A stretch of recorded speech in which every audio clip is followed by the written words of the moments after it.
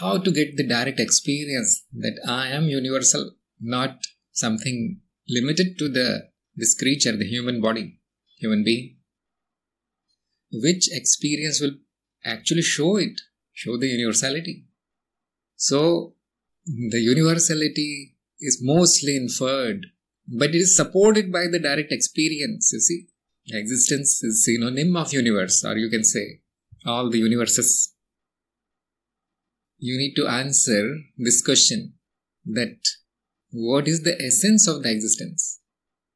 So, experience is the essence of the existence. Existence means that which is universal, isn't it? That which is only present. The experiencer is the whole then. It is universal then. You need to show that the exist the essence of the existence is the experiencer and then automatically it is the universal because existence is all that is. The witnessing ability in the existence is its essence. Just like the essence of a table, wooden table, is wood, not anything else. Not the shape it takes or not the polish or the paint of it. It is the wood. If the wood disappears, nothing will remain. Same way, the essence of the existence is the experiencer. If it is not, it is removed, there is nothing then. How do we arrive at this? It is the essence. Because our direct experience is existence means all the experiences being witnessed by the experiencer. The screen that is the experiencer and the pictures that are coming and going is the experience. Now, obviously, how to find out the essence? By removing that which is changing. What is changing? The pictures or the experience part is changing. Remove it. What remains is the screen. The experiencer remains. That cannot be removed, you see. So that is the essence of the existence. It can be easily shown that the existence is nothing but experience plus experiencer. That means existence is seen as duality and it is kind of evident that the, the experiencer can be the only essence of this existence. And then it is proven, then it is shown. And there is one more thing that the question is asking how to get the direct experience of the experiencer. Now remember, the experiencer cannot be, become the experience. An experiencer can be experienced. Not true. Not possible. It must be inferred. You cannot get the direct experience verification here. Because there won't be any experience of the experiencer, whether local or universal or any kind, limited or unlimited. It cannot be experienced. So forget about direct experience of it. And the universal experiencer, no. No experience of it possible. Who will get it? you are that already. You are the witness. You are the experience. You are the universal experience yourself. You are the Brahman. So who is there to look at itself? It's not possible. You. The direct experience is what? That it is ever present, eternally present, everywhere omnipresent. The law is that the limitedness of the experience does not conclude anything about the unlimitedness of the experiencer. This is in the same category as the mutually exclusiveness of the experience and the experiencer, which means experience cannot become the experiencer and the experiencer cannot become an experience. In the same way, limitedness of the experience does not guarantee the limitedness of the experiencer. It does not say anything about the unlimited nature or limited nature of the experiencer. This is the law. Is it even possible that uh, the universal experiencer through different viewpoints is getting a limited experience? So is it possible that it has also become local? That cannot be proven. That cannot be shown. So there is this logical fallacy here, concluding that because my experience is limited, that means the experiencer is limited. No, is not possible. Another uh, metaphor is let us say you're standing in a room and it has windows on all sides, four windows on four walls plus a door, obviously. So you are getting four views of the surroundings. Let us say front window shows beach, sea coast. The side window shows little bit of trees, forests. The back window shows your neighbor's house, you want to close it, and some other view from the other window. So, when you are facing one window, it means you are getting a limited experience. But that does not mean that you cannot get an experience of all other windows through all other windows. It is possible. And you are the only one who is getting all the views. The windows themselves cannot view anything. So, this is another metaphor that the experiencer is getting all the views. The creature cannot do anything about it. It's not possible. And you know what happens if you get all the experiences at once. You will need the experience, whole experience of the universal memory to even say something about the universality of the experiencer. And if you get all these experiences, all the uh, vibrations of the whole universe, the infinite amount of it, first of all, it's not possible. You know, it cannot fit in the local memory. As a human being, you are trying to experience the whole universal memory. Impossible. Impossible. Anyhow, it will be blank. Yes, it will be blank. The screen will show nothing. Remember the pinhole camera metaphor? Remember the thousand song metaphor that if you play thousand so- songs through one speaker, you will hear nothing, just the hissing sound. Om. that is the real Om, isn't it? So, all the frequencies at once.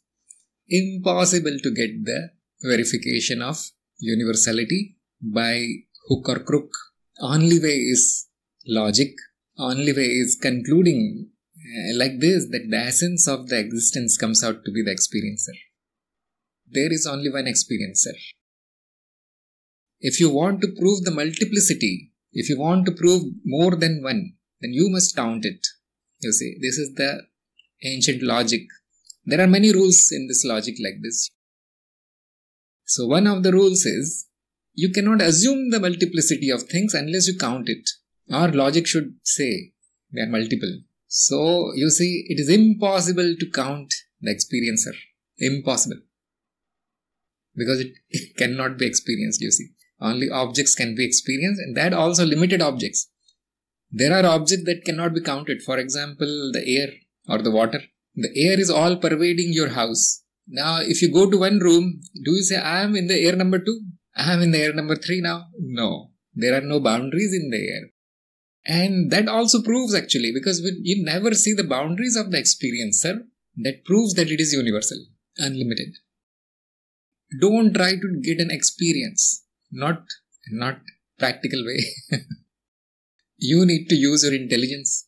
All the laws of the logic, when they are placed before you, you will conclude only one thing that is the universality of the experiencer, that it is not the personal experiencer you are the universal experiencer. You are not only an experiencer, you are the universal experiencer. You are the Brahman, you are the existence. This creature is nothing, you see, it cannot know anything. If you are not convinced, then please stop at unknowable. Though I don't know. You can stop there. There's no, no problem actually. No problem. But do not assume that there are many. It means you have counted them and nobody has counted it you actually you cannot count uh, most of the things in this existence they cannot be counted for example magnetic field electric field and so on. You all know the double slit experiment where the particle is no longer a particle. Now how can you count the electron there or photon? It has become the wave. How many? You see when a scientist says that i am sending one electron through the slit totally wrong statement. It was never one, it was never a particle. The particle is an illusion, collapsing of one wave function to one possibility, and that one thing will be called a particle or an object. But totally false. Wrong statement. It was always one. All the electrons are one, just like all the air is one. It is just electric field. That is why you see pattern on the screen and the double slit. So when you cannot count the most fundamental entity in the universe, which is the fundamental particle, how can you claim to count the objects? Nothing can be counted in this universe. The objects are delineated by the, you know, it's an illusion, by the senses. One object ends and the other starts. This is the trick of the senses because they see a sharp change. That's all. and the object is isolated because of this change. So it is the trick of the senses, you see. Deception of the senses to isolate objects from each other. There is no isolation. It is one continuous universal memory. Now count that. That's why I say it is one at the level of the memory also. Everything else is just phenomena in the memory, and you can keep counting them. That is not the truth. That's not the truth. You are not counting truth. Experiencer is not present in a location. The locations are present in the experiencer. So we cannot say it is everywhere. We say everything is in it. Like this we say. And that guarantees the oneness, isn't it? Non-existence of space or location, lok, guarantees the oneness because there is now nothing. Nowhere to go. No, no separation can be done. Because how can you separate things either in a space like manner or a time like manner? There is no other separation. Is it possible? No. And that means multiplicity is not possible if there is, if the non-existence of the space is proven. And it is already proven. It is proven by ancient people. It is proven by you and me. And it is proven by the biggest of scientists, most intelligent scientists. They know it is not there. Non-local. Everything is non-local. And that is the obvious thing you see. In existence, the locations or the extension of it is an illusion. It's a double illusion, you see, just like time. So we should not say like this that the Uh, experiencer is present in all locations. No, no, no. We should say, look, wherever you are, you will get this same screen of the experiencer. It is same always. The locations change. The experiencer does not move from the location to location. The locations move in front of it. This is our direct experience actually. Do the walking experiment.